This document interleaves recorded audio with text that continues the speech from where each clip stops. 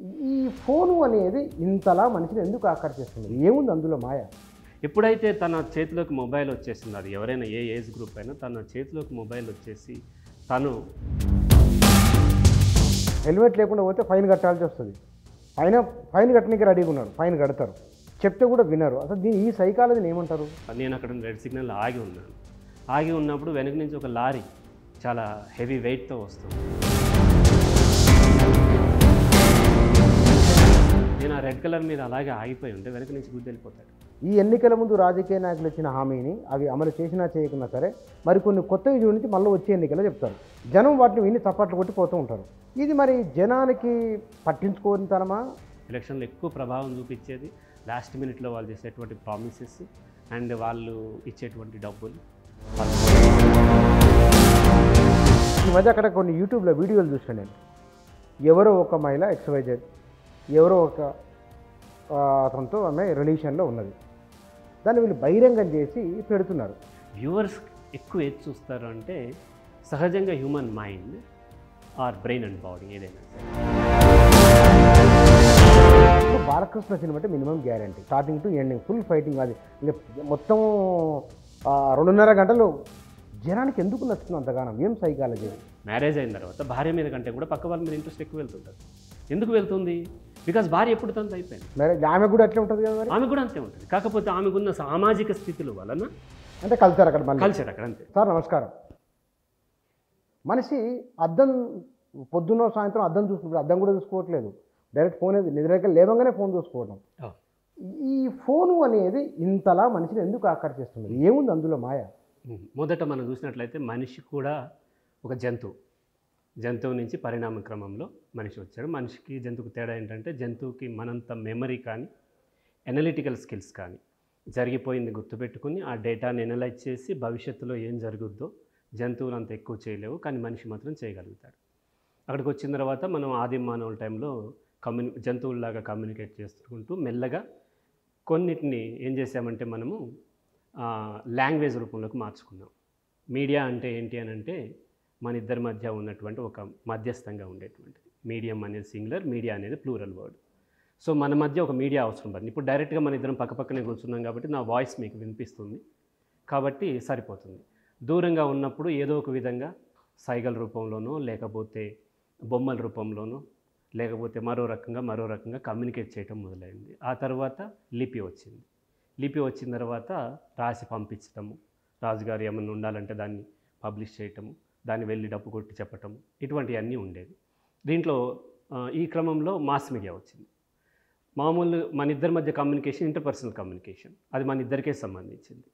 అలా కాకుండా mass media ఏంటంటే ఒక అథారిటీ ఉంది. ఆ అథారిటీ కొంత ఫ్రేమ్ చేసి దాన్ని ప్రజలకు కమ్యూనికేట్ చేయడాన్ని మాస్ మీడియా అంటాం. అది వాళ్ళు ఏదైతే కమ్యూనికేట్ చేయదలుచుకున్నారో అది మాత్రమే కమ్యూనికేట్ చేస్తూ ఉండేవారు ఇప్పుడు మనకి ఈ క్రమంలో టెక్నాలజీ డెవలప్ అయిన తర్వాత రకరకాలైనటువంటి వచ్చినాయి రేడియో వచ్చింది. టెలిఫోన్ వచ్చింది తర్వాత రేడియో వచ్చింది ఆ తర్వాత వచ్చి టీవీ వచ్చింది. ఇలా వస్తున్న క్రమంలో ప్రతిదీ ఏంటంటే అక్కడ ఒక పెద్ద సంస్థ ఒక అథారిటీ ఉంది వాళ్ళు కొన్నిటిని ప్రజలకు కమ్యూనికేట్ చేయదలుచుకున్నారు. వాళ్ళు ఏది కమ్యూనికేట్ చేయదలుచుకున్నారో అది మాత్రమే కమ్యూనికేట్ చేయడం అయింది. ఆ క్రమంలో సెల్ ఫోన్స్ వచ్చింది.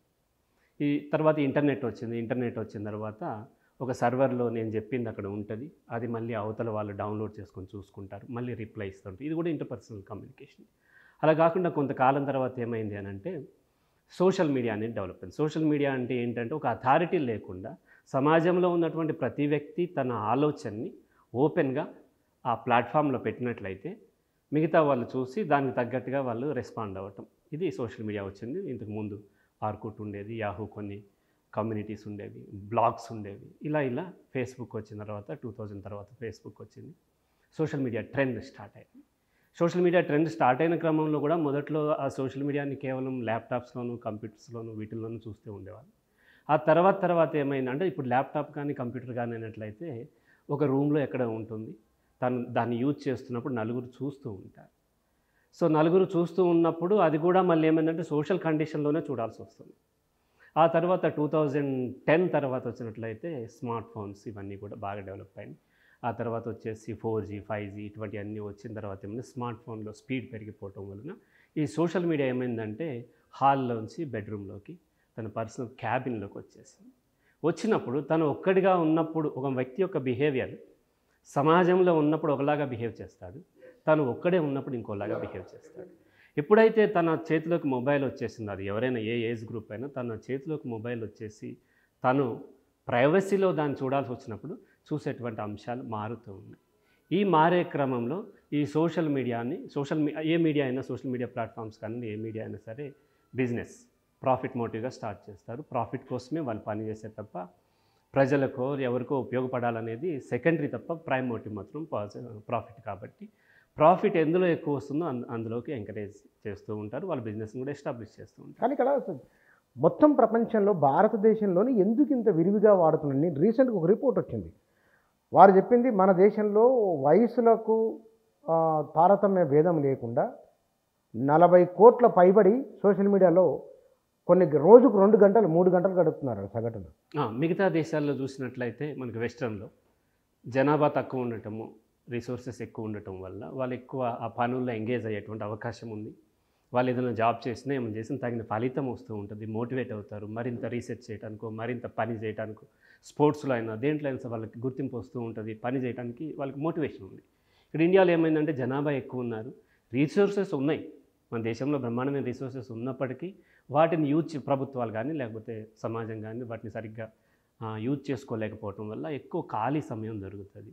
ఖాళీ సమయం దొరికేసరికి ఏమైందంటే వాళ్ళ యొక్క అభిప్రాయాలని చెప్పటం. ఇంతకుముందు కూడా మనం సోషల్ మీడియా అంటే ఏమి ఇప్పుడు డిజిటల్ సోషల్ మీడియా. పూర్వపు రోజుల్లో కూడా సాయంత్రం పూట అరుగుల మీద కూర్చొని మాట్లాడుకునేది. వాళ్ళు కబుర్లు చెప్పుకుని అది కూడా మన సోషల్ మీడియా అనొచ్చు. అంటే సంఘంలో ఉన్న ప్రతి వ్యక్తి తన అభిప్రాయాన్ని ఓపెన్గా ఎక్స్ప్రెస్ చేయడం అనమాట ఇప్పుడు డిజిటల్ సోషల్ మీడియా వచ్చింది. ఇక్కడ ఏమైందంటే మిగతా దేశాలకి మన దేశాలకి తేడా వచ్చేసరికి విపరీతమైనటువంటి జనం విపరీతమైనటువంటి జనసంఖ్య ఎక్కువ ఉండటము సరిపడా వాళ్ళకి వాళ్ళు వర్క్ చేసిన అంత ఫలితం రాకపోవటం వల్ల వర్క్ చేయటం వల్ల డిమోటివేట్ డిమోటివేట్ అయి ఉన్న వాళ్ళు ఈ సోషల్ మీడియా మీద ఎక్కువ టైం స్పెండ్ చేసేటువంటి అవకాశం ఉన్నాయి. కాబట్టి ఇండియాలో ఎక్కువగా సోషల్ మీడియా వాడుతూ ఉంటారు.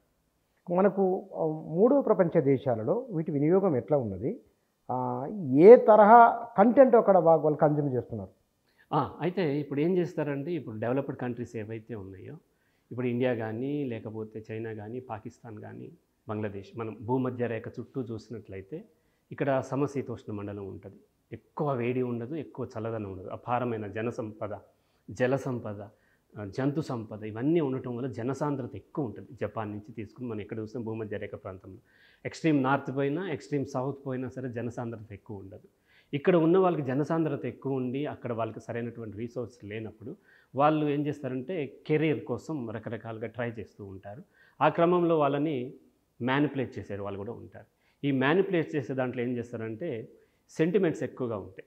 ఇక్కడ ఉన్నటువంటి ప్రజలకి ఎక్కువగా మతపరమైనటువంటి విశ్వాసాలు కానీ సెంటిమెంట్స్ కానీ ఎక్కువ ఉండటం వలన వాళ్ళు ఎమోషనల్గా వీక్ ఉండటం వలన ఏవైతే మన డెవలప్డ్ కంట్రీస్ క్యాపిటలిస్టిక్ కంట్రీస్ ఉన్నాయో వీళ్ళని ఏం చేస్తారంటే ఒక ఒక విధంగా వాళ్ళని సెంటిమెంటల్గా ఫూల్స్ చేస్తూ ఉంటారు. లాంగ్ బ్యాక్ నేను ఒక ప్రోగ్రామ్ చెప్తున్నప్పుడు వాళ్ళు ఏమన్నారంటే ఇండియన్స్ ఆర్ సెంటిమెంటల్ ఫూల్స్ అంటారు కదా సార్ నిజమేనా అన్నారు.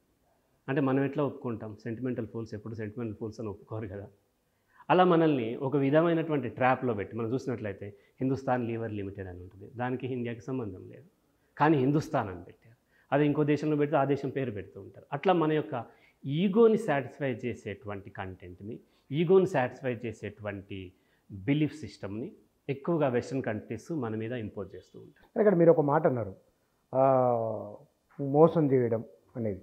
అసలు మనిషి మోసం చేయాలనే ఆలోచన ఎందుకు వస్తుంది? ఏ సైకాలజీ ఉన్నవాడు ఇటు మోసం చేసే గుణం కలిగిన వారు. కొందరు మంచిగా చూడడానికి శుచి శుభ్రంగా చాలా అద్భుతంగా కనబడతాడు చాలా మోసం చేస్తుంటాడు ఆయన. తెలియదు మనకు. ఆ స్వభావం ఏమిటి వాళ్ళ వాళ్ళ సైకాలజీ ఏమిటి? జంతువులకి సమాజం లేదు. జంతువులకి అంటే వాళ్ళకి ఉంటే చాలా చిన్న సమాజం. జంతువులు ఏంటంటే లిమిటెడ్గా అవి వాటి బ్రతుకు బ్రతుకుతూ ఉంటాయి. మనుషులకు వచ్చేసరికి సమాజం వచ్చింది. సమాజం అంటే ఏంటి? కొంతమంది మనుషుల మధ్య కొన్ని కట్టుబాట్లు. నేను నిన్ను మోసం చేయొద్దు. నువ్వు నన్ను మోసం చేయొద్దు అనేటువంటి కట్టుబాటు. ఈ కట్టుబాటు ఎందుకు వచ్చిందంటే ఈ సహజ స్వభావమే మోసం చేయడం ఇక్కడ రెండు ఉంది ఒకటి స్వార్థం ఇంకొకటి దుర్మార్గం. మనిషి స్వార్థపరుడు. జంతువులు కూడా స్వార్థపరులు.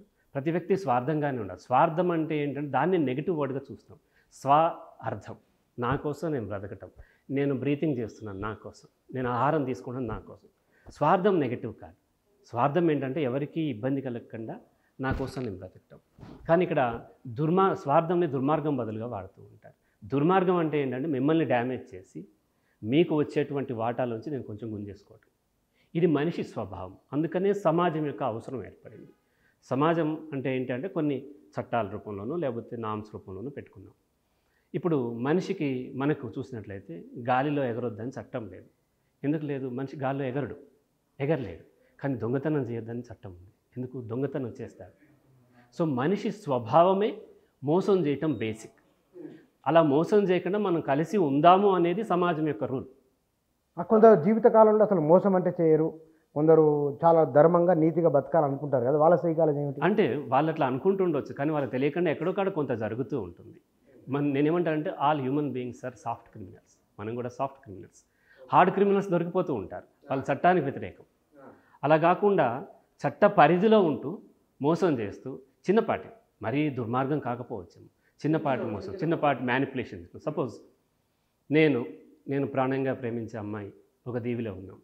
కొంతకాలంకి అక్కడ ఎవరు లేరు మేము ఇద్దరే ఉన్నాం. కొంతకాలంకి ఆహారం అంతా అయిపోయింది. ఆహారం అంతా అయిపోయిన తర్వాత ఇప్పుడు నాకు ఆహారం లేకపోతే నేను చనిపోతాను. అటువంటప్పుడు నేను ఏం చేస్తాను? అప్పుడు నా మనసు మారిపోతుంది. ఆమెను చంపుకు తినేయచ్చు. లేదా ఆమెన నన్ను చంపుకు తినేయచ్చు. మరి దీన్ని ఎలా ఉంటాం? ఇది తప్పు. అయితే నేనేం చేస్తాను? నేను సైకాలజిస్ట్ నేను తెలివైన ఆమెకి చక్కగా నేను ఏదో ఆమెను మ్యానిపులేట్ చేస్తా. నువ్వు నా కోసం ప్రాణం అర్పిస్తే నువ్వు నాలో బ్రతుకుతావు. తర్వాత స్వర్గంలో ఇది వస్తుంది అది వస్తుంది అని చెప్తాను నేను. అప్పుడు ఆమె ఏం చేస్తుంది? స్వయంగా తను అర్పించుకుంటుంది. అది కూడా మోసమే. ఇక్కడ ఎంతవరకు చట్టం ఎంతవరకు కంట్రోల్ చేయగలుగుద్ది అంటే ఫిజికల్గా తెలిసి చేసే వాటిని మాత్రం కంట్రోల్ చేయగలుగుద్ది. ఇప్పుడు సపోజ్ మీ జేబులో డబ్బులు ఆ హుండీలోకి కావాలి. దానికోసం అక్కడ ఒక విగ్రహమో ఏదో పెడతారు. పెట్టి నీకు భయపెడతారు. అక్కడ దేవుడికి సరిపడా నువ్వు ఇలా చేయకపోతే నువ్వు నరకం ఉంటుంది? లేకపోతే నీకు కష్టాలు వస్తాయి అంటారు. మీరు తీసుకెళ్ళిపోయి అక్కడ స్వచ్ఛందంగా వెళ్ళిపోయి అక్కడ వేసేస్తారు. అక్కడ మీ మనసు మ్యానిపులేట్ చేయబడింది. అది కూడా మోసమే. కానీ చట్ట ప్రకారం మోసం కాకపోవచ్చు. కాబట్టి మోసం అనేది సమాజంలో ఉంటుంది. మోసమే లేకపోతే సమాజం అవసరం లేదు. మోసం లేకపోతే సమాజం అవసరమే లేదు కదా? సమాజం అంటే ఏంటి? మనకిద్దరికి కొంత ఫుడ్ దొరికింది. మీరు నేను సగం సగం తినటం. ఇది అగ్రిమెంట్ కదా? సో సగం సగంలో ఫిఫ్టీ ఫిఫ్టీలో నేను ఏం చేస్తాను? వీలైనంత వరకు ఫిఫ్టీ వన్ వచ్చేలాగా నేను ట్రై చేస్తుంటాను. మీరు ఫిఫ్టీ వన్ వచ్చేలాగా ట్రై చేస్తూ ఉంటాను కాబట్టి అక్కడ రూల్ కావాల్సి వచ్చింది. అలా కాకుండా నాకు కావాల్సింది నేను తినేసి మిగతాది వదిలేసాను అనుకోండి. ఇక సమాజం కావాల్సిన జంతువులు సమాజం లేవు. కానీ అవి ఓ కొట్టేసుకోవట్లేదు కదా? సింహాలు సింహాలు కొట్లాడుకోవట్లేదు. ఏనుగులు ఏనుగులు కొట్లాడుకోవట్లేదు. అవి కేవలం ఆహారం కోసం తప్ప వేరే దేనికోసం వేరే జీవరాశి మీద అటాక్ చేయట్లేదు. ఆహారం కోసం కూడా తన ఆకలి తీరిన తర్వాత పక్క నుంచి జింకెళ్తున్న పులి పట్టించుకోదు. ఇక్కడ అట్లా కాదు. నేను తినాలి రేపటికి దాచుకోవాలి నా పిల్లలకి దాచుకోవాలి నా మనవలకు దాచుకోవాలి అన్నప్పుడు ఇప్పుడు మీకు కనీస తిండి లేకుండా చేసి నేను దాచుకునేటువంటి ప్రయత్నం మొదలవుతుంది. ఇది లేదనుకోండి సమాజంకి అవసరమే ఉంది. ఇప్పుడు జనాలకు ఆడ రెడ్ సిగ్నల్ ఉంది జంప్ చేయొద్దని ఉంటుంది. అయినా సిగ్నల్ దాటిపోతారు. హెల్మెట్ లేకుండా పోతే ఫైన్ కట్టాల్సి వస్తుంది. ఫైన్ ఫైన్ కట్టడానికి రెడీగా ఉన్నారు. ఫైన్ కడతారు. చెప్తే కూడా వినరు. అసలు దీని ఈ సైకాలజీని ఏమంటారు? ఇక్కడ మనకి చట్టం అనేది ఒక అందరినీ యావరేజ్ మ్యాన్ని యావరేజ్ మ్యాన్ని ఉద్దేశంలో పెట్టుకుని చట్టం చేయబడుతుంది. యావరేజ్ సిచ్యువేషన్ ఏదన్నా ఒకటి పెట్టుకుని చట్టం చేయబడుతుంది. ఇప్పుడు అక్కడ రెడ్ సిగ్నల్ ఉంది. నాకు ఒక నేను అక్కడ రెడ్ సిగ్నల్ ఆగి ఉన్నాను. ఆగి ఉన్నప్పుడు వెనక నుంచి ఒక లారీ చాలా హెవీ వెయిట్తో వస్తూ ఉంది. జోష్లో ఉన్నాడు హారన్ కొడుతూ ఉన్నాడు. అతను అర్జెంట్గా వెళ్ళిపోవాలి. తాగున్నాడు ఏదో డ్రైవర్ కొడుతూ ఉన్నప్పుడు నేను ఆ రెడ్ కలర్ మీద అలాగే ఆగిపోయి ఉంటే వెనక నుంచి గుద్ది వెళ్ళిపోతాడు. వెళ్ళిపోయిన తలబద్దలై చనిపోయిన తర్వాత చట్టం నా ప్రాణం తీసుకురాదు. కాబట్టి చట్టం యొక్క పరిధి మనం అర్థం చేసుకోవాలి. చట్టం ఏం చేస్తుంది అని అంటే ఎవరన్నా క్రైమ్ చేస్తే అతనికి శిక్ష పడేలాగా చేస్తుంది. కానీ ఆ యాక్సిడెంట్ని కానీ ఆ క్రైమ్ని కానీ రద్దు చేయలేదు కాబట్టి చట్టాన్ని అవసరాన్ని బట్టి అతిక్రమించేటువంటి హక్కు చట్టమే ఇస్తుంది. రాజ్యాంగాన్ని ఎదిరించేటువంటి హక్కు రాజ్యాంగమే ఇచ్చింది. కానీ ఏమవుతుంది? ఇక్కడ ఉన్నటువంటి సిస్టంలో ఒక్కొక్క దేశంలో ఒక్కొక్క రకమైన సిస్టంలో ఉన్నటువంటి రీసోర్సెస్ని బట్టి తను త్వరగా వెళ్ళాలని చెప్పి అవసరం లేకపోయినా దాన్ని వాడుకుంటూ ఉంటాడు. ఇప్పుడు మనం చూసినట్లయితే వెస్ట్రన్ కంట్రీస్లో మనతో పోలిస్తే ఈ రోడ్ రూల్స్ని పాటించడం పర్ఫెక్ట్గా చేస్తూ ఉంటారు మనతో పోలిస్తే. ఎందుకని? అవి డెవలప్ అయినాయి. అతను లేట్గా వెళ్ళినా పెద్ద ఇబ్బంది ఉండదు కానీ ఇక్కడ కొన్ని లక్షల మందికి కొన్ని వందల జాబ్స్ ఉంటాయి.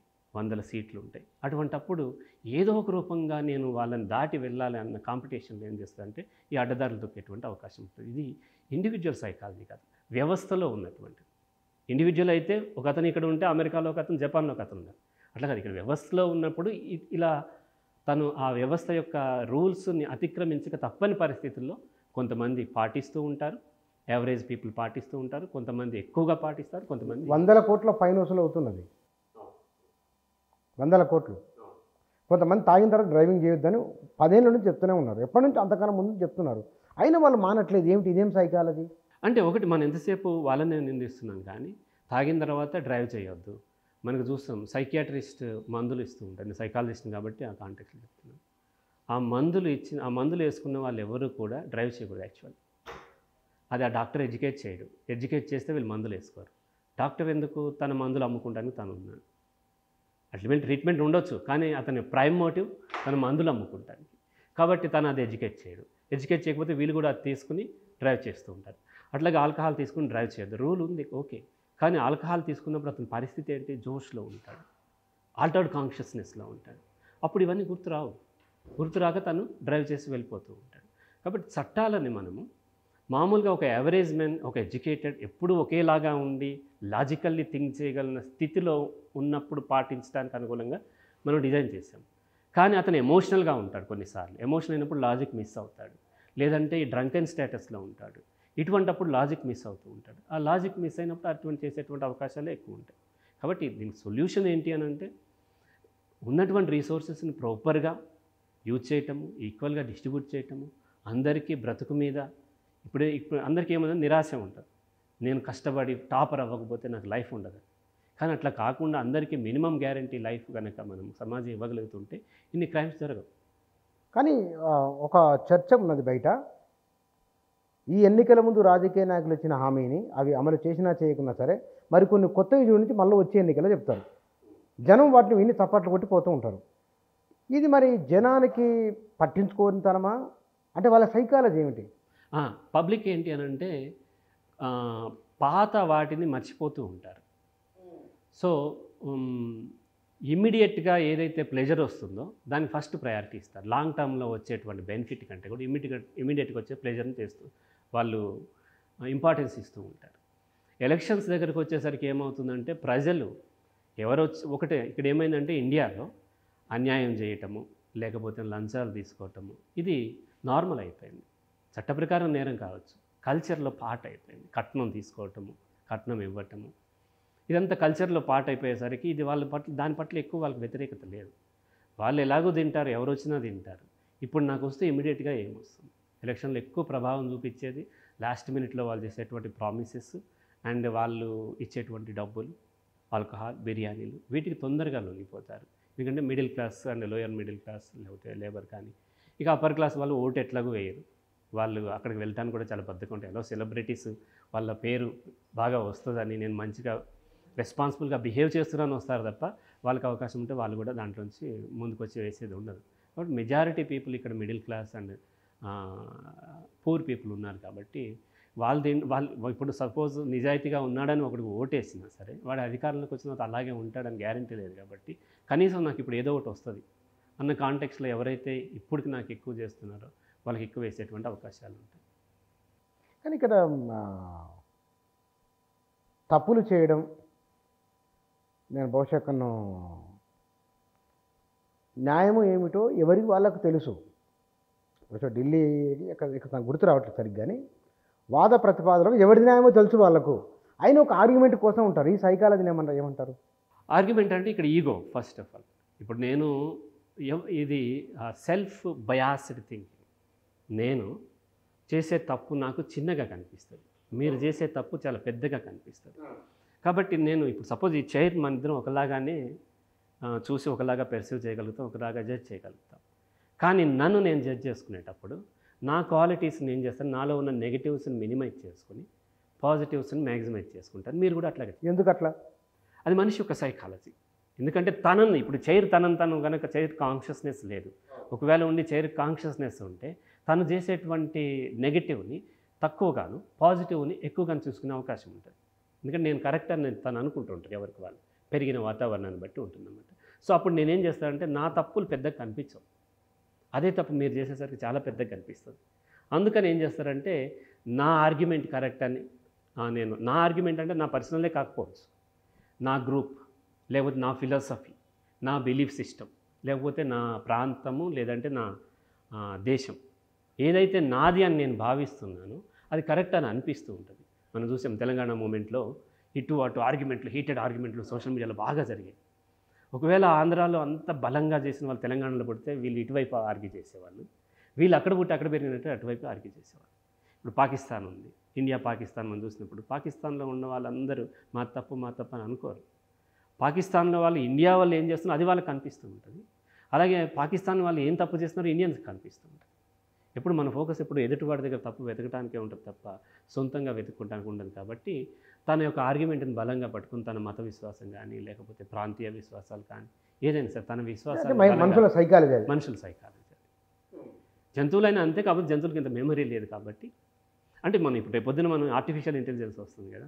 ఆర్టిఫిషియల్ ఇంటెలిజెన్స్ వచ్చినా సరే అంటే ఫస్ట్ మనకి ఇక్కడ చాలా మిస్బిలీఫ్ ఏంటంటే నాలెడ్జ్ని చాలా గ్రేట్గా చూస్తాం. కదా? కానీ యాక్చువల్లీ నాలెడ్జ్ చాలా వీక్. ఫస్ట్ ఆఫ్ ఆల్ దేన్ని నాలెడ్జ్ అంటాం మనం? నాలెడ్జ్ కూడా మనం చూజ్ చేసుకుంటున్నాం. దేన్ని నాలెడ్జ్ అని ఉంటామంటే నా బిలీఫ్ సిస్టమ్కి అనుకూలంగా ఉన్నదే నాలెడ్జ్ అంటాం. హిందువులకు భగవద్గీత ఇస్తే నాలెడ్జ్ అని చదువుతారు. ఖురాన్ ఇస్తే చదవకపోవచ్చు. ముస్లిమ్స్ ఖురాన్ ఇస్తే నాలెడ్జ్ అని చదువుతారు. బైబిల్ ఇస్తే చదవకపోవచ్చు. అంటే నా బిలీఫ్ సిస్టమ్కి అనుకూలంగా ఉంటే దాని నాలెడ్జ్ అని కన్సిడర్ చేసి చదువుతాను. వ్యతిరేకంగా ఉంటే దాని పవర్ జీరో. పని చేయదు. మన భావన. అంతే. అదే ప- అంటే ఫస్ట్ మనకి ప్రీఆక్యుపైడ్ మైండ్ ఉంటుంది. అక్కడి నుంచే చూస్తాం. అదే పని చేస్తే చాగంటి కోటేశ్వరరావు గారి ప్రవచనాల నుంచి ప్రపంచం మారిపోయి ఉండాలి.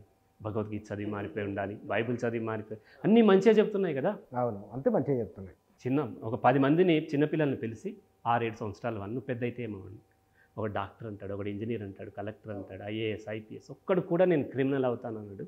మనం కూడా అనలేదు ఇందులో వినడానికి కూడా ఒప్పుకోము ఒప్పుకోం. కానీ ఇందులో నైంటీ పర్సెంట్ తెలుసు హండ్రెడ్ పర్సెంట్ కూడా సమ్టైమ్స్ తెలుసో తెలియకో క్రిమినల్సే అవుతారు. అబద్ధాలు చెప్తారు పక్కనోడి దగ్గర చూసి కాపీ కొడతారు చిట్టీలు పెట్టి పాస్ అవుతారు బ్యాక్ డోర్ నుంచి జాబ్ తెచ్చుకుంటారు లంచం ఇస్తారు తీసుకుంటారు కట్నం ఇస్తారు తీసుకుంటారు. తెలియదా వీరికి? కట్నం ఇవ్వటం తీసుకోవటం నేరమని? తెలుసు. కల్చర్ యాక్సెప్ట్ చేస్తుంది.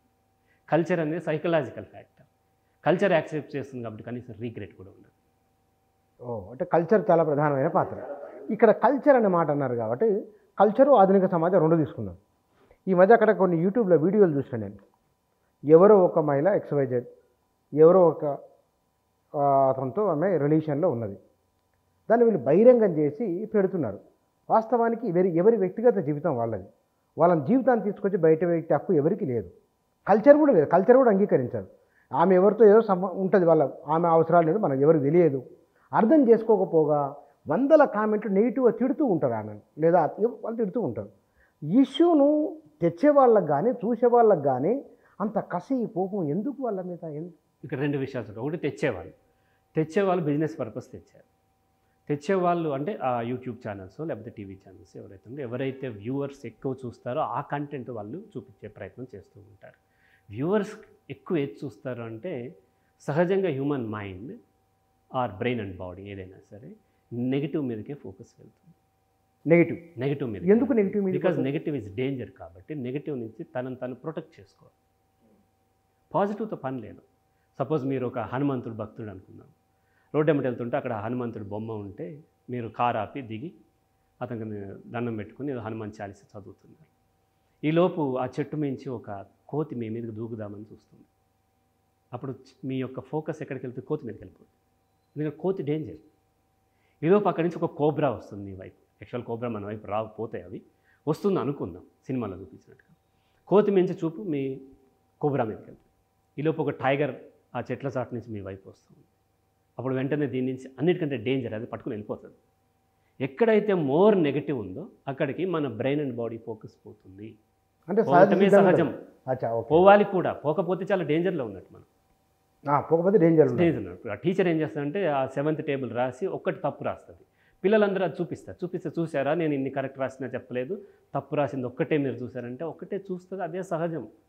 చూడాలి కూడా.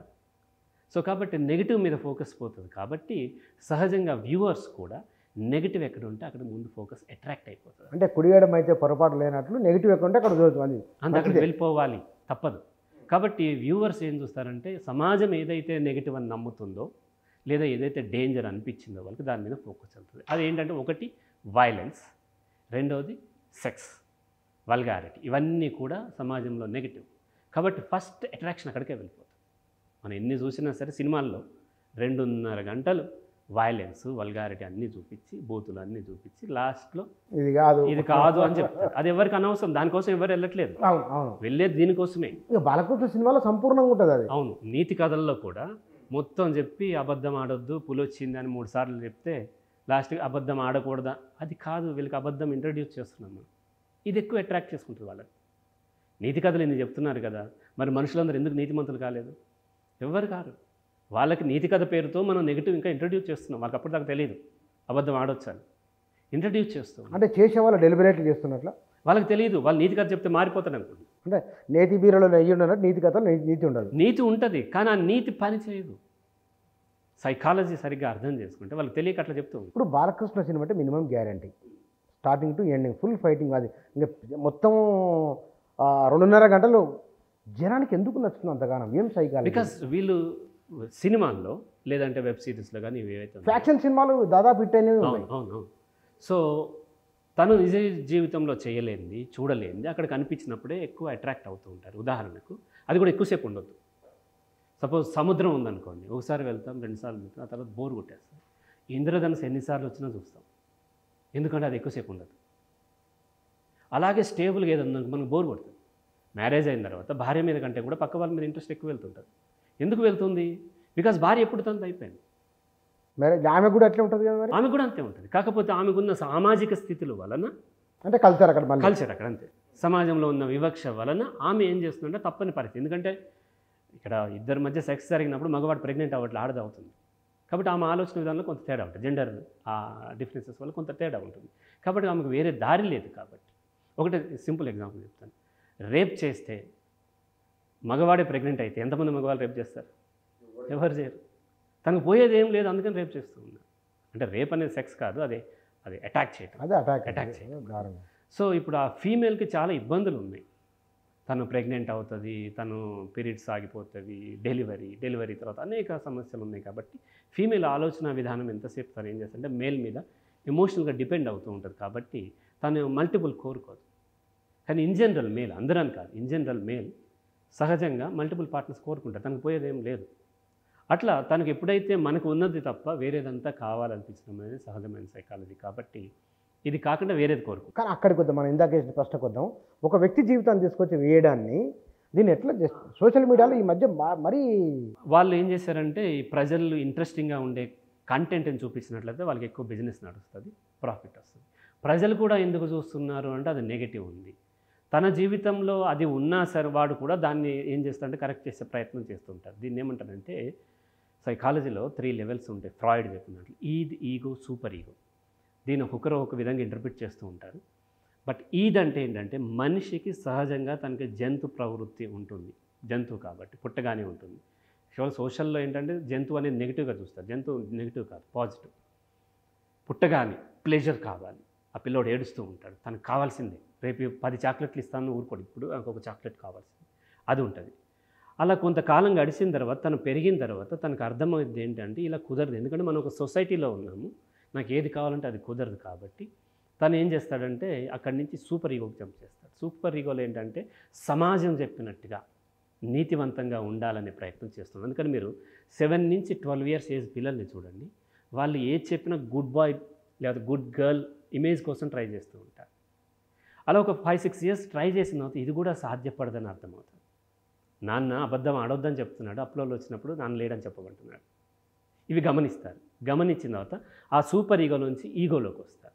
ఈగో ఏంటి అంటే తన లోపల ఉన్నటువంటి ఈద్ ఇంపల్సెస్ని తొక్కిపెట్టి పైకేమో సూపర్ ఈగో చెప్తూ ఉంటారు మధ్యలో ప్రాక్టీస్ చేస్తుంటారు తనకి వీలైనప్పుడు అవసరమైనప్పుడు అవకాశం ఉన్నప్పుడు ఈ ఈద్ ఇంపల్సెస్ బయటకు వస్తూ ఉంటాయి. ఉదాహరణకి రాఖీ అని ఒక సినిమా ఉంటుంది. అప్పట్లో జెమిని టీవీ ఈటీవీ ఉండేది. మన కృష్ణవంశీ జూనియర్ ఎన్టీఆర్ వీళ్ళు చక్కగా చెప్పారు. ఆడపిల్లల మీద ఇంత అటాక్స్ జరుగుతున్నాయి. సో అదే సినిమాలో జర జర అని ఒక అమ్మాయి స్కిన్ షో చేసుకుంటే హీరోయిన్ పరిగెత్తుకొస్తుంటారు ఆ నీతి చెప్పింది ఆ డైరెక్టరే? అది తీసింది ఎవరు మరి? అదే ఆ డైరెక్టరే కదా. అంటే డ్యూయాలిటీ ఉంటుంది. పైకి చెప్పే నీతి ఉంటుంది. అది లాస్ట్లో చెప్పే నీతి. మిగతాదంతా కూడా ఈద్ ఇంపల్సెస్ సినిమా చూసేవాళ్ళు లేకపోతే యూట్యూబ్ చూసేవాళ్ళు వీళ్ళందరికీ ఈద్ ఇంపల్సెస్ సాటిస్ఫై అవుతుంటే ముందు దానికి అట్రాక్ట్ అవుతుంది అందుకని ఈ వల్గర్ సినిమాలు ఇంతకుముందు మలయాళ సినిమాలు ఎక్కువ మనకు వస్తూ ఉండేది ఇప్పుడు మలయాళంలో అద్భుతమైన సినిమాలు వస్తున్నాయి. ఒకప్పుడేమో అంత దిక్కుమాలిన సినిమాలు ఇవాళ ఎంత అద్భుతమైన సినిమాలు సోషలిస్ట్ సినిమాలు వస్తున్నాయి. ఇక సార్ ఇక్కడ చాలామంది ఈ రీల్స్ చేస్తూ ప్రాణాలు పోగొట్టుకుంటున్నారు. ఆ రీల్స్ అని షార్ట్స్ అని అవి ఏమిటిది? ఎందుకు అంత దాని మీద ఎందుకు తెలంగాణ మూమెంట్ అప్పుడు ఫేస్బుక్ ఇదంతా పెద్ద రోల్ ప్లే చేసింది కదా. సో అప్పుడు ఏంటంటే మనం ఆర్టికల్స్ రాసేవాళ్ళం. వీడియోస్ తక్కువ ఉండేవి. ఆర్టికల్స్ రాసినప్పుడు అదంతా ఒకటి చదవాలి. చదివి దాన్ని అర్థం చేసుకునేవాళ్ళు. అయితే మొత్తం ప్రపంచవ్యాప్తంగా దాదాపు పదిహేను నుంచి ఇరవై కోట్ల మంది తెలుగు వాళ్ళు ఉన్నారు. ఈ తెలుగు వాళ్ళలో తెలుగు చదవటం వచ్చిన వాళ్ళు దాదాపుగా పది కోట్ల మంది ఉంటారు. ఒక ఐదారు కోట్ల మంది వాళ్ళకి తెలుగు మాట్లాడటం వచ్చు చదువుకున్న వాళ్ళే కానీ తెలుగు లిటరేచర్ చదవలేరు. ఇంకో ఇంకొక ఐదు కోట్ల మంది దాకా మనకి నిరక్షరాస్యులు ఉంటారు. ఐదు కోట్ల మంది. అనుకుందాం మనం. అందాజు మనకు కరెక్ట్ తెలియదు ఓకే. అంతమంది ఉన్నారు అనుకుందాం ఈ సోషల్ మీడియా యూట్యూబ్ కానీ ట్విట్టర్ కానీ ఫేస్బుక్ కానీ ఏది వచ్చినా సరే వాళ్ళు ప్రాఫిట్. వాళ్ళు క్యాపిటలిస్ట్ కంట్రీస్ వచ్చినాయి వాళ్ళు పెట్టుబడి పెట్టి లాభాల కోసం చేస్తూ ఉంటారు. వాళ్ళందరినీ కూడా ఇందులో గుంజుకు రావాలి. ఇందులో గుంజుకు రావాలి అంటే వాళ్ళకి అర్థమయ్యేటువంటి మీడియా ఆ యొక్క టెక్నాలజీని తీసుకువెళ్ళాలి. స్మార్ట్ ఫోన్ వాళ్ళ చేతిలోకి వచ్చింది వాళ్ళు చదవటం రాకపోవచ్చు. బట్ చూడటం వచ్చు. కనిపిస్తుంది. ఇట్లా స్క్రోల్ చేయటం వచ్చు. ఇక్కడ మనకేమంటే వీడియోకి ఇంపార్టెన్స్ పెరిగింది. గతంలో వీడియో అంటే ఇట్లాంటి ఇంటర్వ్యూలు ఉండేవి ఇంటలెక్చువల్స్తో డిస్కషన్లు ఉండేవి టీవీలో కానీ ఇవన్నీ ఉండేవి. అవి వేరు. అవి కాకుండా ఎంటర్టైన్మెంట్ ఇక్కడైతే చాలా టైం కావాలి. ఒక విషయం నన్ను మీరు అడిగితే కాంటెక్స్తో వివరించాలంటే చాలా టైం తీసుకుంటూ ఉంటాం. కానీ ఇంత టైం వాళ్ళు పెట్టలేరు. ఇంత టైం వాళ్ళకి బోర్ కొడుతుంది. కాబట్టి ఈజీగా వాళ్ళని అట్రాక్ట్ చేసుకుంటాం కోసం ఈ షార్ట్ వీడియోస్ ఇవన్నీ వచ్చినాయి. ఇది ఇందులో మొదట ఫస్ట్ స్టార్ట్ చేసింది TikTok videos TikTok videos వచ్చిన తర్వాత విపరీతంగా మొత్తం వరల్డ్ మొత్తం ట్రెండ్ అయిపోయిన తర్వాత టిక్ టాక్ని మన ఇండియాలో బ్యాన్ చేశారు కొన్ని కంట్రీస్లో బ్యాన్ చేశారు. టిక్ టాక్ చాలా ప్రమాదాలు జరుగుతున్నాయని అవన్నీ ఇవన్నీ. దాన్ని చూసి సేమ్ మిగతా అన్నీ కూడా ఏవైతే యూట్యూబ్లో షార్ట్స్ అని సంవత్సరాలు కూలిపోయినాయి టిక్టాక్లతో. అవును, అవును. సేమ్ అదే ఇక్కడ ఉంది. మనకి ఆ ప్లాట్ఫామ్ ఏదైనా సరే దాని ఆ స్టైల్ షార్ట్ వీడియోస్ అనేవి. ఈ షార్ట్ వీడియోస్ చాలా తక్కువ టైం థర్టీ సెకండ్స్ నుంచి త్రీ మినిట్స్ ఎంత ఉంటాయి కాబట్టి తక్కువ టైంలో వాళ్ళకి వాళ్ళు కమ్యూనికేట్ చేయాల్సింది ఏదైతే ఉందో కమ్యూనికేట్. దీంట్లో వాళ్ళు ఏం చేస్తారంటే సెన్సేషన్ కావాలి. సెన్సేషన్ కోసం ఆ తక్కువ టైంలో వాళ్ళ యొక్క అటెన్షన్ని గ్రాప్ చేయాలి. చాలా ఉంటాయి. అందులో అటెన్షన్ గ్రాప్ చేయాలంటే మనం చూస్తుంటాం యూట్యూబ్లో ఫేక్ తమ్నేల్స్ పెడుతూ ఉంటారు మిస్లీడింగ్ తమ్నేల్స్ పెట్టినట్టే. ఇక్కడ వీళ్ళు ఏం చేస్తారంటే ఫస్ట్ ఫ్యూ సెకండ్స్లోనే వాళ్ళ యొక్క అటెన్షన్ గ్రాప్ చేసి వాళ్ళని హోల్డ్ చేసుకున్నది మొత్తం చూసేలాగా చేయాలి అని అంటే ఇక వేరే కంటెంట్ అంత అంత పవర్ఫుల్గా పనిచేయదు కాబట్టి వల్గారిటీ బూతులు లేకపోతేనేమో డబుల్ మీనింగ్ డైలాగ్స్ ఇటువంటి అన్నీ కూడా అందులో ఎక్కువ పాపులర్ అయింది ఇది ఒకటి. అయితే దీని ద్వారా ఐడెంటిటీ పొందడం ఈజీ సోషల్ మీడియా వచ్చిన తర్వాత ఏమైందంటే సోషల్ మీడియాలో అందరూ ఈక్వల్ ఉండరు. కొంతమంది ఇన్ఫ్లుయెన్సర్స్ ఉంటారు. కొంతమంది సెలబ్రిటీస్ ఉంటారు. వాళ్ళకి ఎక్కువ ఫాలోయింగ్ ఉంటుంది. కొంతమంది నార్మల్ మెన్ కూడా మెల్లమెల్లగా కామన్ మెన్ కూడా మెల్లమెల్లగా తను ఇన్ఫ్లుయెన్సర్ అయ్యి సెలబ్రిటీ అయ్యే అవకాశాలని వాళ్ళని చూస్తూ ఉన్నాం. ఇప్పుడు ఈ సోషల్ మీడియాలో తనకు ఎంత రీచ్ ఉందన్న దాన్ని బట్టి తన పవర్ పెరుగుతూ ఉంది కాబట్టి తొందరగా ప్రతి ఒక్కరూ ఆ పవర్ పెంచుకోవాలని చూస్తారు. సో అందులో యువత ఎవరైతే ఉన్నారో ట్వెల్వ్ ఇయర్స్ నుంచి ట్వంటీ ఇయర్స్ వరకు ఉన్న ఏజ్ని టీనేజ్ని ఏమంటామంటే మనం ఐడెంటిటీ వర్సెస్ రోల్ కన్ఫ్యూజన్. వాళ్ళకి ఐడెంటిటీ కావాలి. ఎందుకంటే ఐడెంటిటీ ఉంటేనే ఆపోజిట్ జెండర్ తనకి అట్రాక్ట్ అవుతారు. సో అందుకని అతనికి గుడ్ బాయ్గా కానీ లేకపోతేనేమో తనకు ఒక సింగర్గా కానీ స్పోర్ట్స్మెన్గా కానీ ఆర్టిస్ట్గా కానీ ఇంకో రకం ఇంకో రకంగా ఐడెంటిటీ కావాలి. అది దొరకనప్పుడు కనీసం బ్యాడ్ బాయ్ కానీ ఐడెంటిటీ కావాలి. అంటే క్రౌడ్లోంచి తను సపరేట్ అయ్యి కనిపించినప్పుడు తన పార్ట్నర్ తనకి అట్రాక్ట్ అవుతుంది కాబట్టి ఏం చేస్తారంటే రకరకాల దొరికిన వాటిల్లో ఈజీగా దొరికేటువంటి దాంట్లో గుడ్ బాయ్గా దొరికినప్పుడు బ్యాడ్ బాయ్గా ఎక్కువ ట్రై చేస్తూ ఉంటారు. ఇది ఆ తర్వాత ట్వంటీ తర్వాత ట్వంటీ నుంచి థర్టీ ఇయర్స్ వరకు ఉన్న ఏజ్ని ఏమంటామంటే intimacy versus isolation intimacy versus isolation తనకు ఒక ఇంటిమేట్ ఫ్రెండ్ కావాలి. చాలా క్లోజ్గా ఉండి తన బాధను అర్థం చేసుకునే ఫ్రెండ్ అక్కడే మనం మ్యారేజ్ అనేది వస్తుంది. సో ఇక్కడ కూడా ఆపోజిట్ జెండర్ని అట్రాక్ట్ చేసుకోవాల్సిన అవసరం ఉంది. ఈ అట్రాక్ట్ చేసుకునే క్రమంలో రకరకాల ఇప్పుడు నేను ఒక మంచి ఒక బాడీ బిల్డరో లేకపోతే ఒక ఫిజిక్ మంచిగా ఉండేందుకు వేరే వాళ్ళు చూస్తానే అప్రిషియేట్ చేయాలని కదా. ఒక అమ్మాయి మంచిగా డ్రెస్ చేసుకుని నగలు అన్నీ వేసుకునేది ఎందుకు? వేరే వాళ్ళు చూసి తను అప్రిషియేట్ చేయాలని కదా? అంటే మంచి అందంగా తయారవడం అన్- మంచి బట్టలు వేసుకోవడం ఇతరుల కోసమే. మన. కోసం కాదు. ఏదైనా ఇతరుల కోసం. ఏదైనా ఆపోజిట్ attract తినడం. తాగడం తప్ప అన్ని ఇతరుల కోసమే. అంతే. అంటే ఇక్కడ మూడే ఉంటాయి. ఒకటి హంగ్రీ తను ఉండటం కోసం. రెండోది ఫియర్ తను సర్వైవ్ అవ్వడం కోసం. మూడోది సెక్స్ రీప్రొడక్షన్ కోసమే ఏ జీవరాశి అయినా బ్రతుకుతుంది మనిషి కూడా. ఈ మూడు వారి వారి అవసరం ఇది. అంటే ఒక జంతువు యొక్క అవసరం మనిషి యాజ్ అన్ యానిమల్గా అవసరం. ఈ ఈ రీప్రొడక్షన్లో సెక్స్ అంటే ఆపోజిట్ జెండర్ని అట్రాక్ట్ చేసుకో. కోయిలు కూస్తున్నా నెమలి పురువి పాడుతున్న మిణుగురు పురుగులు మెరుస్తున్నా నక్కలు ఊళ్ళలు పెడుతున్నా కుక్కలు అరుస్తున్నా కప్పలు బెకబెకమంటున్నా ఇవన్నీ ఏం చేస్తున్నాయి? తన ఆపోజిట్ జెండర్ మేట్ని అట్రాక్ట్ చేసుకుంటున్నాయి మేటింగ్ కోసం. అలాగే మనిషి చేసే ప్రతి ప్రయత్నము తన లైఫ్లో బెటర్ మేట్ని చూజ్ చేసుకోవడం కోసం. బాగా చదివితే మంచి మార్కులతో మంచి జాబ్ వస్తే మంచి చాయిస్ వస్తుంది నాకు. లేదా నేను సెవెంత్తో ఆపేస్తే అంత ఎక్కువ చాయిస్ ఉండదు. పెళ్ళైన వాళ్ళు వాళ్ళ పిల్లలకి బెటర్ మేట్ కోసం. కాబట్టి అల్టిమేట్గా అదర్స్ని అట్రాక్ట్ చేసుకోవటం కోసమే కాబట్టి ఏం చేసినా అదే చేస్తూ ఉంటారు. అందులో కొంతమంది డబ్బు సంపాదిస్తారు కొంతమంది కీర్తి ప్రతిష్టలు సంపాదిస్తారు కొంతమంది రకరకాల వీళ్ళు వాళ్ళ యొక్క ఐడెంటిటీని వాళ్ళకి కమ్యూనికేట్ చేసినప్పుడు అట్రాక్ట్ అవుతుంది. కాబట్టి ఈ ఐడెంటిటీ కోసం రకరకాల మార్గాలు ఎన్నుకునే దాంట్లో మనకి ఈ షార్ట్ వీడియోస్ ఒకటి కొత్తగా దొరికింది. ఇందులో ఏమవుతుంది? పెద్ద కష్టపడాల్సిన పని లేదు. ఈ వల్గారిటీని చూపించిన ఆడపిల్లలు అయితే వాళ్ళ యొక్క శరీరాన్ని రకరకాల షేప్స్ని ప్రదర్శించి చాలా దా చెప్పలేకపోతున్నాం ఇక. ఆ ముప్పై సెకండ్లలో వాళ్ళ ఆ బట్టలు ఏమిటో వాళ్ళ వ్యవహారం ఏమిటో మగవాళ్ళు అట్లే ఆడవాళ్ళు అట్లే పోటా పోటీగా ఉన్నారు. ఈ ఈ క్రమంలో ఇది ఆ ఒక్కరి సైకాలజీ కాదు. ఇక్కడ ఓవరాల్గా మనం చూసినప్పుడు కల్చర్ మారుతూ వస్తుంది. నా చిన్నప్పుడు పాతాల భైరవ్ అనే సినిమాలో ఎంత ఘాటు ప్రేమయో అనే పాట ఉంటే మా ఫాదర్ చెప్పారు ఆ పాటను బ్యాన్ చేయమని అప్పట్లో ర్యాలీలు తీశారంట. అవునా? అంటే అంత ఎంత ఘాటు ప్రేమ ఏంటి?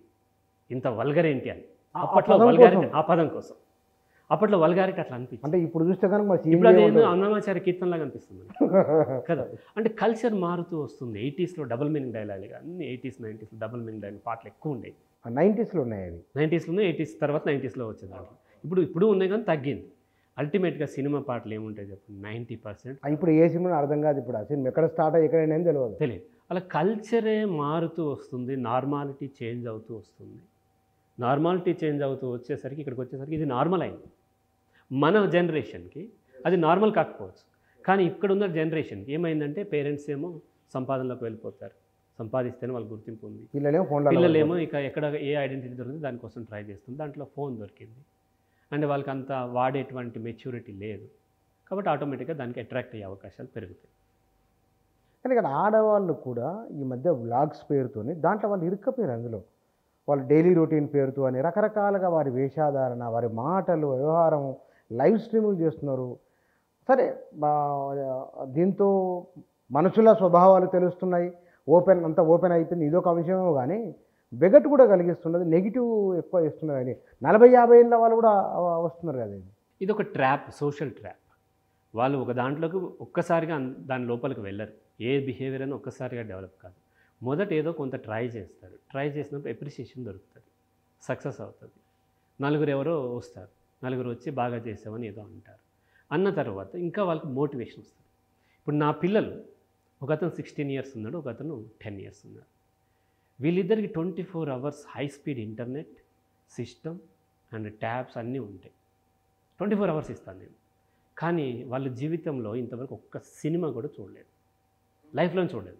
ఇంతవరకు? ఇంతవరకు చూడలేదు. వాళ్ళు ప్రతిదీ రీసెర్చ్ చేస్తూనే ఉంటారు.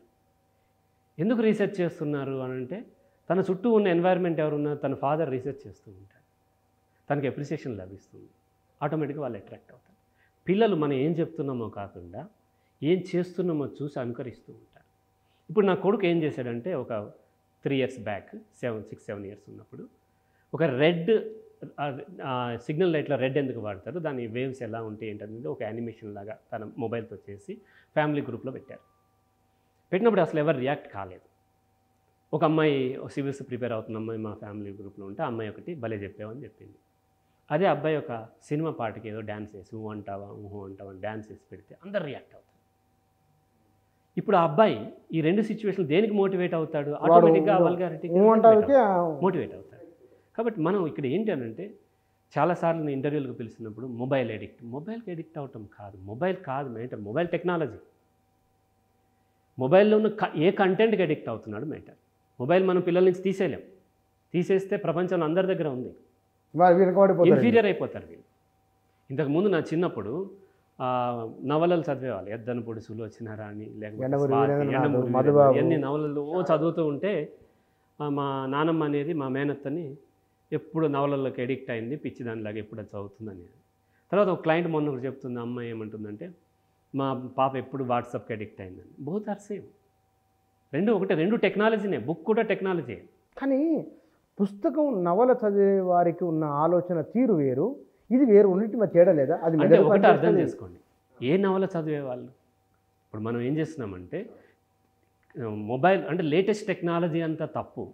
ఓల్డ్ టెక్నాలజీ కరెక్ట్ అనుకుంటున్నాం ఇతను మొబైల్లో తను ఏదో రీసెర్చ్ చేస్తున్నాడు తను స్టడీ చేస్తున్నాడు ఇంటలెక్చువల్ స్టడీ లేకపోతే రేషనల్గా థింక్ చేస్తున్నాడు. ఆ అమ్మాయి ఒక బూత్ పుస్తకం చదువుతుంది అనుకోండి. ఇప్పుడు పుస్తకం గొప్పది అనగలమా? ఏ కంటెంట్ అనేది మ్యాటర్. టెక్నాలజీని మనం తీసాం టెక్నాలజీ మారుతున్నది ఇంకా ముందు కూడా ఏ వస్తుంది ఇంకా టెక్నాలజీ పెరుగుతుంది. కానీ టెక్నాలజీని పిల్లల నుంచి బలంగా గుంజుకోవాలని చూస్తున్నారు. దానివల్ల యూజ్ లేదు. ఎందుకంటే వాళ్ళు పెరుగుతారు లాక్కుంటారు వాళ్ళు. అది కాదు. అలా కాకుండా టెక్నాలజీలో ఏ కంటెంట్ వాళ్ళు వాడుతున్నారు అన్న దాని మీద ఫోకస్ చేసి నిజం చెప్పాలంటే యూట్యూబ్ పిల్లల విషయంలో చాలా జాగ్రత్త వహిస్తుంది. మీరు ఒక వీడియో పోస్ట్ చేస్తుంటే ఇది పిల్లల కోసమా కాదా అని అడుగుతుంది. యూట్యూబ్లో టాప్ మోస్ట్ యూట్యూబ్ వరల్డ్లో టాప్ మోస్ట్ ఛానల్ ఇంతకుముందు టీ సిరీస్ ఉండేది. దాన్ని దాటేసి ఇప్పుడు ఒక చిన్నపిల్లల ఛానల్ చేసే అతను టీ సిరీస్ కూడా దాట అది నెంబర్ వన్ అనమాట సో పిల్లలకి కంటెంట్ అట్లా చాలా జాగ్రత్త తీసుకుంటుంది. అయితే ఇక్కడ సమస్య ఏంటంటే వీళ్ళు మొబైల్ వాడి ఇదే పిల్లలకి ఇస్తారు. పిల్లలు పిల్లల కంటెంటే చూడాలని చూస్తారు ఇవన్నీ చూడాలనుకోరు వీళ్ళు వాడిన దాంట్లో అడల్ట్ కంటెంట్ ఎక్కడ వెతుకుతారు కదా అది సజెస్టెడ్ వీడియోలోకి వస్తుంది. అప్పుడు వాళ్ళు అక్కడికి వెళ్తారు. అక్కడికి వెళ్ళిన తర్వాత మెల్లమెల్లగా ఇంట్రెస్ట్ పెరుగుతూ ఉంటుంది. కాబట్టి ఫస్ట్ మనం ఇది పేరెంట్స్ దగ్గర నుంచి మార్పు రావాలి. పిల్లలు పెద్దలైనా సరే ఎక్కడ గుర్తింపు దొరికితే అక్కడ పోతారు. ఎక్కడ ప్రేమ దొరికితే అక్కడికి వెళ్ళిపోతారు. ఎక్కడ క్యూరియాసిటీ ఉంటే అక్కడికి వెళ్తారు. మనం ఆ మొబైల్ కంటే క్యూరియాసిటీ అంటే ఆ కంటెంట్ కంటే క్యూరియాసిటీ వేరే దాంట్లో చూపిస్తే ఆటోమేటిక్గా వెళ్తారు. కానీ మనం ఫెయిల్ అవుతున్నాం చూపించడానికి. మన ఎకడమిక్స్ ఫెయిల్ అవుతున్నాయి. మన ఈ ప్రీచింగ్స్ ప్రవచనాలు ఈ మోటివేషన్ స్పీకర్ ఇవన్నీ ఫెయిల్ అవుతున్నాయి. మన సిస్టమ్ ఎలా ఉందంటే ఆ స్కూల్లో చదువుకుంటున్న పిల్ల ఆ కిటికీలోంచి అక్కడ ఒక పువ్వు ఉంది. పువ్వు మీద బటర్ఫ్లై ఎగురుతుంటే చూస్తుంటే టీచర్ లేపి చెంప మీద కొట్టి బోర్డు మీద ఫోకస్ చేయమంది. బోర్డు మీద ఆమె సీతాకొక చిలుకుని చెప్తుంది. ఇక్కడ న్యాచురల్గా ఉన్న దాన్ని తీసేసి అన్యాచురల్గా మనం క్లాస్ రూమ్కి పరిమితం చేస్తున్నాం. స్కూల్స్ మన చిన్నప్పుడు ఉన్నట్టుగా స్కూల్స్లో గ్రౌండ్స్ లేవు. అసలు ప్రాక్టికల్స్ అయితే లేవు. ఈ మధ్య ఒక అమ్మాయి మొత్తం బైపీసీలో నాలుగు ప్రాక్టికల్స్ ఉంటాయి నాలుగు సబ్జెక్ట్స్కి నాలుగిటికి థర్టీ థర్టీ థర్టీ థర్టీ వచ్చినాయి. తన లైఫ్లో ఒక ప్రాక్టికల్ కూడా చేయలేదు. ఇంకా ఆమెకి వాటిలో ఏం క్యూరియాసిటీ వస్తుంది? కాబట్టి వ్యవస్థ మొత్తం మారుతుంది. ఒకే దగ్గర మనం పాయింట్ చేస్తే కాదు అనేక కారణాలు ఉన్నాయి. ఆ కారణాలన్నింటినీ మనం చూడాల్సిన అవసరం ఉంది. మొన్న ఆంధ్రప్రదేశ్లో జగన్ ముఖ్యమంత్రి ఉన్నప్పుడు వన్ ఇయర్ బ్యాక్ టెన్త్ క్లాస్లో ఒక్కొక్క మార్కుతో ఇద్దరు ముగ్గురు ఫెయిల్ అయ్యారు. వాళ్ళు ధర్నా చేసిండ్రు వచ్చి ఒక మార్క్ కలపమని అంటే ఒకటి ఒక్కొక్కసారి ఫెయిల్ అవుతూ ఉంటారు మళ్ళీ ట్రై చేసుకోవచ్చు. ఇక్కడ ఏంటంటే యాక్చువల్గా అక్కడ వాళ్ళ పేరెంట్స్ ఒక్క మార్క్ కలపమని ఎక్కువనా? నాకు ముప్పై నాలుగు వచ్చింది ఒక తక్కువ వచ్చింది. కలుపు పాస్ అయిపోయి నన్ను. అంటే ఏమవుతుంది అంటే గతంలో కూడా ఇట్లా జరిగింది నాదెల్ల భాస్కరరావు వచ్చినప్పుడు ఒక ఐదు మార్కులు కలిపి పాస్ చేశారు. ఎందుకు పాస్ చేశారు అంటే మనకి ఈ దేశంలో ఉన్న అసమానతలు దాదాపు నాకు తెలిసేది ఎక్కడ లేవు. ఇక్కడ ప్రతి ఒక్కరికి ఒకే విధమైనటువంటి సిచ్యువేషన్ లేదు. ఇప్పుడు నేను నా కొడుకుకి ఏమైనా డౌట్ వచ్చిందనుకోండి నేను చెప్తాను. నా సర్వెంట్ కొడుకు ఏమైనా డౌట్ వస్తే ఆమె చెప్పలేదు. ఇద్దరు ఈక్వల్ లెవెల్ పెర్ఫార్మెన్స్ చేయమంటే కష్టం అవుతుంది ఒకసారి ఏమవుతారు? వాళ్ళు డ్రాప్ అయిపోతారు. మనకి తెలంగాణ మూమెంట్ అప్పుడే ఒక ఎగ్జాంపుల్ ఉంది. హిందీలో ఇరవై మార్కులే పాస్ మార్క్ ఉండేది. అవు ఇంగ్లీష్ మాత్రం థర్టీ ఫైవ్ ఉండేది. అవును. వాళ్ళకి హిందీ రాదు వాళ్ళు వచ్చేసేవాళ్ళు. సో ఇక్కడ డ్రాప్ అవుట్లు అవ్వకుండా ఉండటం కోసం అవసరమైతే కొంత స్కోర్ ఇవ్వమని మనము మీరు నేను మేము క్యారమ్స్ ఆడుతున్నాం మీకు ఎక్కువ రాదనుకోండి కొంత స్కోర్ ఇచ్చి ఆడతాను లేకపోతే ఏమవుతుంది మీరు ఎప్పుడు డిమోటివేట్ అయిపోతారు. ఇప్పుడు నేను నా చిన్న కొడుకు ఇద్దరం రన్నింగ్ రేస్లో పార్టిసిపేట్ చేస్తూ ఎప్పుడు వాడు ఓడిపోతున్నాడు అనుకోండి ఇక నేను ఆడను పో అంటాడు. దాన్ని లెర్న్ హెల్ప్లెస్నెస్ అంటారు. హెల్ప్లెస్నెస్ నేర్చుకుంటారు. కాబట్టి వాళ్ళకి తగ్గట్టుగా వాళ్ళకి సపోర్ట్ ఇవ్వడం కోసమే మనకి రిజర్వేషన్లు అన్నీ ఇవన్నీ వచ్చినాయి. ఇవన్నీ ఎందుకంటే వాళ్ళకి చదువుకునేటువంటి ఎన్వైర్న్మెంట్ లేదు. వేల సంవత్సరాల నుంచి వాళ్ళు ఊర ఊరు చివర పెట్టి ఉంచారు. వీళ్ళతో పోటీ పడమంటే ఎట్లా పోటీ పడగలరు? అది కూడా రాయటంలోనే. కుమ్మరతను కుండలు చక్కగా చేస్తాడు. కానీ కుండలు చేయటం రాయమంటే రాయలేకపోవచ్చు. కానీ రాసి టాపర్ అయిన వాడికి ఉద్యోగం వస్తే ఎట్లా? కాబట్టి కొన్ని మనం మన డాక్టర్ బిఆర్ అంబేద్కర్ ఇవన్నీ కూడా మనకి కల్పించినట్లే. అప్పుడప్పుడు కొంత సపోర్ట్ అవసరం. అయితే ఏంటంటే ఒక మార్క్ కల్పమని ఉన్న దాంట్లో వాళ్ళు ఏ కారణంతో అడిగారో తెలియదు కానీ మొత్తానికైతే వాళ్ళు ఒక్కొక్కసారి చదవలేదు ఫెయిల్ అయ్యిండ్రు. ఉమ్. వాళ్ళు డిమాండ్ చేసిండ్రు పైగా. అరే కష్టపడి అయితే చదవాలి. ఏంటంటే ఫెయిల్ అవ్వటం అనే దాన్ని మన వాళ్ళు ఏదో నిజమైన ఫెయిల్యూర్గా చూస్తున్నారు. అండ్ టాపర్లు అందరూ బాగా టాపర్ ఏమో అనుకుంటాం. లాస్ట్ ట్వంటీ ఇయర్స్ నుంచి మీరు రీసెర్చ్ చేయండి. ట్వంటీ ట్వంటీ ఫైవ్ ఇయర్స్ నుంచి స్టేట్ టాపర్స్ ఉంటారు. మన చైతన్య నారాయణ కాలేజీ చూస్తారు. వాళ్ళందరూ ఇప్పుడు ఏం చేస్తున్నారు? ఒకసారి రీసెర్చ్ చూడండి చేసి చూడండి. వాళ్ళందరూ చిన్న. చిన్న చిన్న చిన్న జాబ్స్లోను లేకపోతే నాలాంటి వాళ్ళ దగ్గర కౌన్సిలింగ్కి వస్తారు. నా దగ్గరకు వచ్చే వాళ్ళందరూ టాపర్సే వస్తారు. ఏమని ఏం ఏ problem? యాంగ్జైటీ వస్తుంది డిప్రెషన్ వస్తుంది. ఇంకా అన్లిమిటెడ్ అయిపోతుంది వాళ్ళకి. పోటీ. ఫెయిల్యూర్ని యాక్సెప్ట్ చేయలేరు. లైఫ్ మనకు గ్రౌండ్లో తెలుస్తుంది. కానీ క్లాస్ రూమ్లో కూర్చోబెడుతున్నారు. నా లైఫ్లో ఎప్పుడు నాకు ఫిఫ్టీ ఫిఫ్టీ ఫైవ్ కంటే మార్క్స్ ఎప్పుడు ఎక్కువ రాలేదు. సైకాలజీ కూడా టూ ఇయర్స్ ఎంఎస్సీని త్రీ ఇయర్స్ పాస్ అయ్యాను. చాలామంది గోల్డ్ మెడలిస్టులు ఉన్నారు. వాళ్ళ గంటకు ఐదు వందలు వెయ్యి రూపాయలు ఛార్జ్ చేస్తుంటే వాళ్ళ దగ్గర పోవచ్చు కదా నా దగ్గరికి ఎందుకు వస్తున్నారు? నేను six thousand per hour charge చేస్తాను ఒక గంట గంటకు ఆరు వేలు ఛార్జ్ చేస్తాను. స్టిల్ నా దగ్గరికి ఎందుకు వస్తుంది ఎన్ని వేల మంది ట్రీట్మెంట్ నేను ఈ సిక్స్ ఇయర్స్లోనే బాగా నేను పాపులర్ అయ్యాను. ఈ సిక్స్ ఇయర్స్లో more than five thousand five hundred clients నేను ఐదు. వేల ఐదు వందల వేల మందికి? మందిని. దాంట్లో నైంటీ పర్సెంట్ ఓసీడీ వాళ్ళు వరల్డ్ వైడ్గా ప్రతి దేశంలోనూ ప్రతి సిటీలోనూ తెలుగు వాళ్ళు ఎక్కడుంటే అక్కడ నా క్లయింట్స్ ఉంటారు. సో ప్రతి ఊర్లోనూ ఉంటారు. తెలియకుండా ఒకరి తెలియకుండా భార్యాభర్తలు కూడా క్లయింట్స్ అయి ఉంటారు. భార్య తెలియకుండా భర్త భర్త తెలియకుండా. అంత డిమాండ్ ఇక్కడ ఉంది. ఎందుకు ఇంత వస్తుంది ఏ సమస్య మీద మీ దగ్గరికి ఎక్కువ జనాలు వస్తున్నారు? ఎక్కువ ఓసిడి ఓసిడి అనేది యాంగ్జైటీ డిజార్డర్ తర్వాత డిప్రెషన్ డిప్రెషన్ తక్కువ ఉంటారు. ఎక్కువ యాంగ్జైటీ యాంగ్జైటీ ఎందుకు యాంగ్జైటీ ఆందోళన అంటే నేను ఏమైపోతాను? గెలవలేకపోతే నేను నా లైఫ్ వేస్ట్ జాబ్ రాకపోతే వేస్ట్. నేను చేయగలనా లేదా? చేయగలనా లేదా? బికాజ్ ఆఫ్ కాంపిటీషన్ అలాగే వచ్చి రిలీజియస్ బిలీఫ్స్ వల్ల రిలీజియస్ ఓసిడి ఇట్లా రకరకాల ఓసిడీలు ఉంటాయి. ఇందులో టాప్ డామినేటింగ్ ఎక్కువ పబ్లిక్ ఇండియాలో ఎక్కువ రిలీజియస్ ఓసిడి పాప భీతి. నేను దేవుడి మీద చెడు థాట్లు వస్తున్నాయి. ఆ థాట్స్ రాకూడదు తీసేయాలి తీసేయాలని లూప్లో ఎక్కిపోతూ ఉంటారు. ఆ తర్వాత ఈ కెరీర్ గురించినటువంటి దాంట్లో. నేను వేస్ట్ నేను చదవలేకపోతున్నాను. అనే యాంగ్జైటీతోని ఆ లూప్లోకి వెళ్ళిపోతూ ఉంటారు పంతొమ్మిది వందల తొంభైలకు ముందు తొంభైల తర్వాత తీసుకుంటే కనుక మీరన్న కల్చర్ మారడమే కాదు మనుషుల ఆలోచన తీరు వారు తట్టుకునే శక్తి సామర్థ్యాన్ని కూడా కోల్పోతూ ఉన్నారు. ఎందుకు? మనకి తొంభైలలో మనకి ప్రపంచీకరణ మొదలైంది. ప్రపంచీకరణలో టెక్నాలజీ ఇవన్నీ చక్కగా వస్తాయి దాంతోపాటు దాని యొక్క చెడు లక్షణాలు కూడా మనకు వస్తూ ఉంటాయి. ఆటోమేటిక్ వచ్చినాయి. వచ్చేసినాయి వచ్చేస్తాయి కూడా. వాళ్ళ యొక్క ఉద్దేశము ఏదైతే డెవలప్డ్ కంట్రీస్ యొక్క ఉద్దేశము ఈ కంట్రీస్ని డెవలప్ చేయటం కాదు కదా వీళ్ళని ఒక కన్జ్యూమర్గా మార్చుకోవటం. ఆ మార్చుకునే క్రమంలో వాళ్ళకి బానిసలు కావాలి ఉద్యోగస్తులు కావాలి. నిజంగా స్కూల్స్లో చదువు ఉంటుందా? నేను అంటాను బడిలో చదువు లేదు గుడిలో దేవుడు లేడు అంటూ ఉంటాను. గుడిలో ఉండి ఉంటుంది విగ్రహం ఉంటుంది దేవుడు అంతటా ఉంటాడు. చదువు బడిలో ఉండదు. ఈవెన్ గవర్నమెంట్ స్కూల్ అయినా సరే. వాళ్ళ యొక్క ఉద్దేశం అబ్జెక్టివ్ ఏంటి? వీళ్ళని కార్పొరేట్స్ కానీ గవర్నమెంట్ కానీ ఎంప్లాయీస్గా సప్లై చేయటం. దానికి కావాల్సిన సిలబసే ఉంటుంది. లైఫ్కి కావాల్సిన చెప్పాల్సిన అవసరం వాళ్ళకి ఏముంది? అందులో ప్రైవేటీ ప్రైవేటీ వచ్చిన తర్వాత వాళ్ళకి ఏం కావాలి? వాళ్ళకి ఒక టాపర్ ఉంటే మోర్ అడ్మిషన్స్ వస్తాయి. చూపించుకోవచ్చు. అంతేగాని మీరు సక్సెస్ అయితే వాళ్ళకేంటి? లాభం. కాబట్టి ఎంతసేపు మార్కులు మార్కులు మార్కులు అని పెట్టి తెలియని ఒక ర్యాట్ రేస్లోకి పిల్లల్ని నెట్టేస్తూ ఉంటారు. పేరెంట్స్ కూడా అంతే. పేరెంట్స్ని కూడా నెట్టేస్తూ ఉంటారు. ఇగో మీ పిల్లలకి అది ఇది అని చెప్పి. మీరు చూడండి ఎల్కేజీ యూకేజీలో కూడా చదువుతున్న పిల్లలు వచ్చి మా పాప కంప్యూటర్లో క్లాస్ ఫస్ట్. ఎల్కేజీ యూకేజీ వాళ్ళకి ఏం తెలుసు? వాళ్ళకు పెద్ద ప్రైజ్ ఇస్తారు తీసుకొచ్చి ఇంట్లో పెట్టి దాన్ని చూపిస్తూ ఉంటారు. అంటే పేరెంట్స్ యొక్క ఈగో సాటిస్ఫై చేయటం.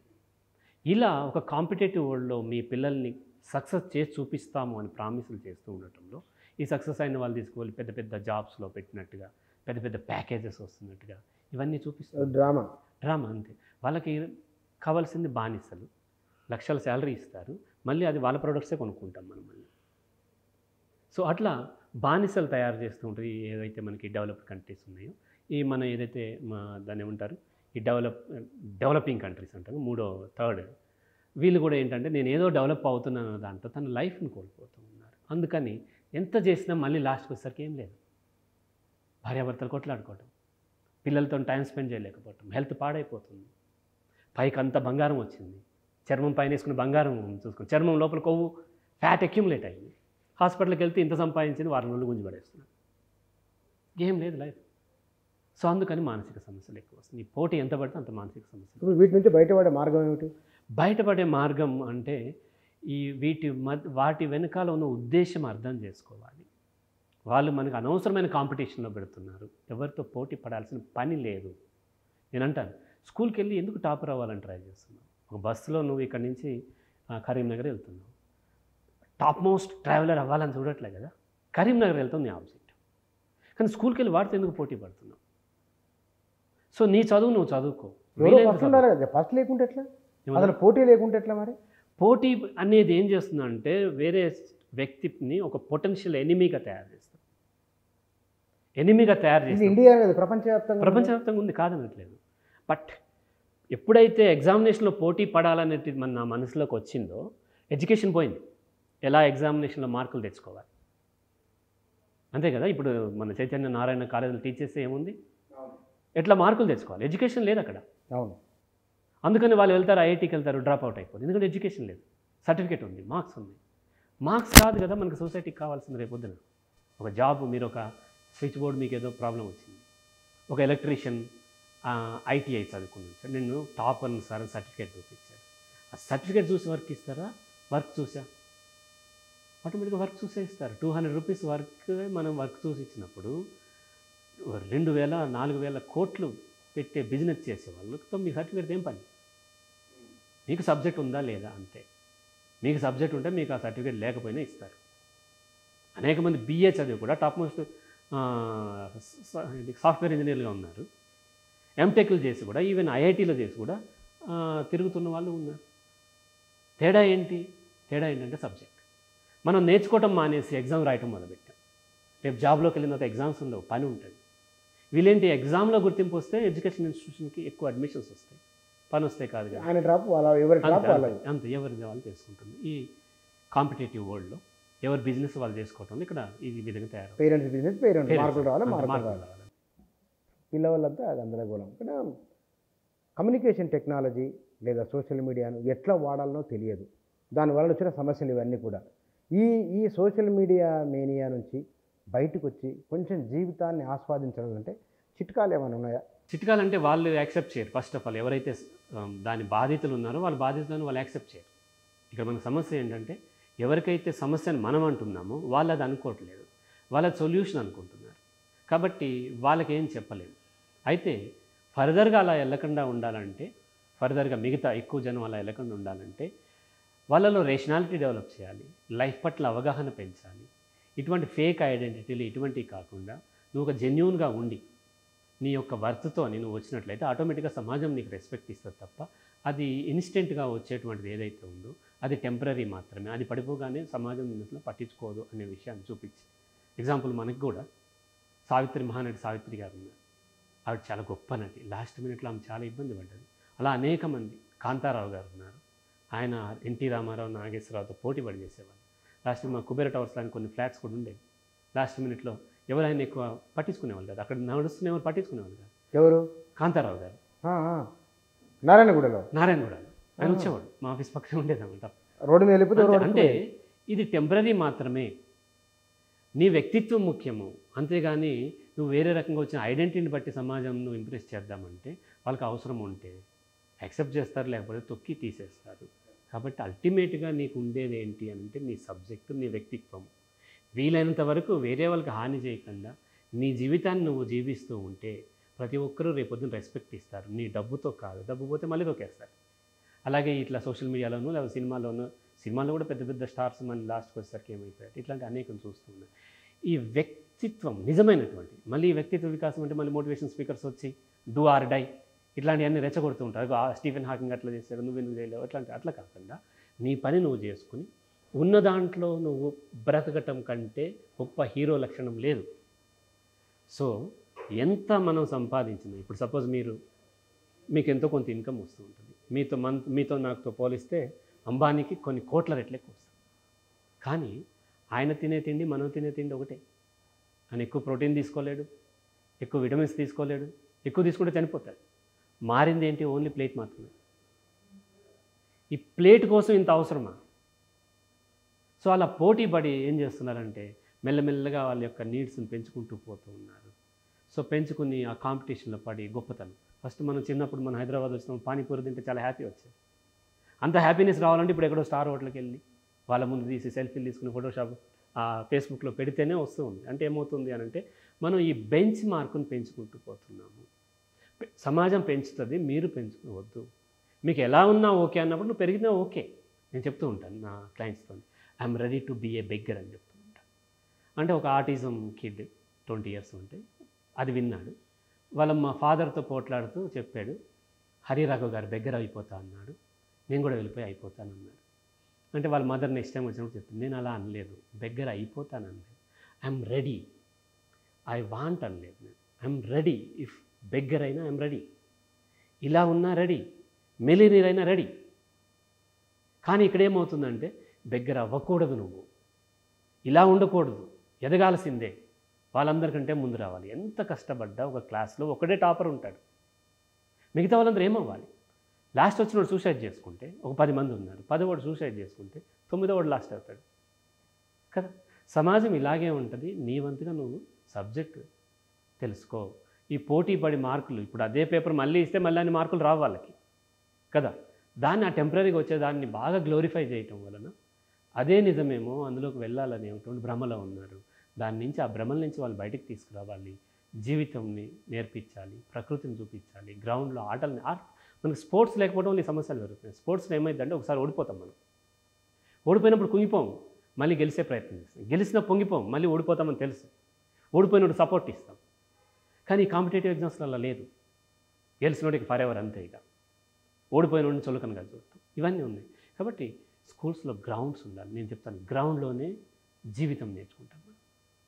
అలాగే ప్రకృతిని చూపించాలి. జంతువులన్నీ బాధల్లో బతకట్లే అవి కూడా హ్యాపీగా బతుకుతున్నాయి.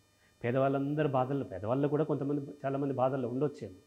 బట్ జీవితం వేరు ఈ కాంపిటీషన్ వేరు. కాంపిటీషన్ పార్టిసిపేట్ చేస్తాము.